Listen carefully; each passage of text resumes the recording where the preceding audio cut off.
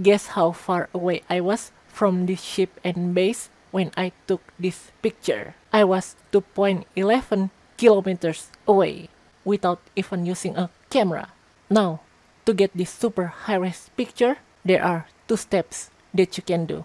I'm sure most people know about the first one. If you go to the graphic settings and lower your FOV or field of view to 40, you'll get a more detailed picture within the same resolution.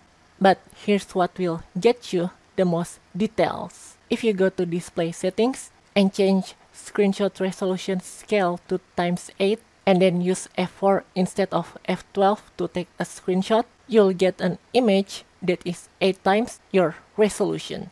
This means you can zoom in really close without losing as much pixel density. The screenshot can be found in the following folder. Just make sure you enable view hidden folders on Windows Explorers first. And that's how you take super high-res pictures of your enemy's base and ship on Space Engineers.